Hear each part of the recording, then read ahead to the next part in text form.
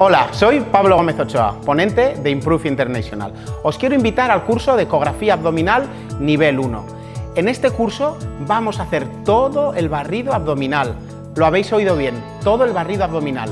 No solo el hígado, el bazo, la vejiga y los riñones, sino también adrenales, páncreas, linfonodos y digestivo.